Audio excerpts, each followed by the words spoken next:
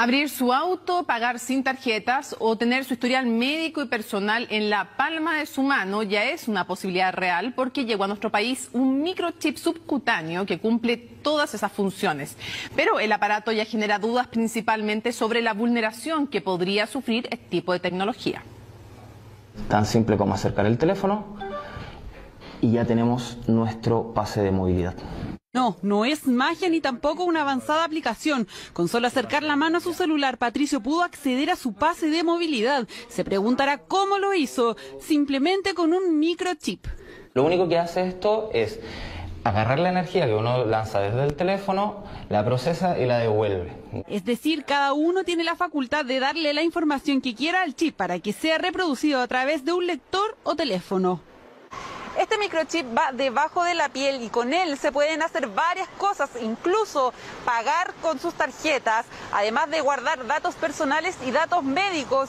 ¿Sería usted capaz de ponerse este microchip bajo la piel?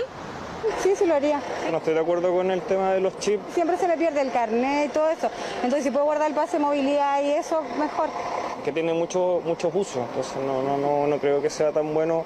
Por lo que he visto en, por vía YouTube, que te saca información. Es bueno para la gente más o menos de edad y que más o menos es complicada de la salud. Y justamente porque en este chip se puede guardar incluso hasta un teléfono de emergencia y la ubicación para aquellas personas con demencia que en muchas ocasiones se desorientan y se pierden. También se puede almacenar datos médicos y personales en caso de un accidente, puede abrir su auto e incluso pagar a través de él sin tarjetas bancarias, solo acercando su mano. Bien, le voy a pedir que respire muy profundo, por favor. Bote. Aquí va el chip.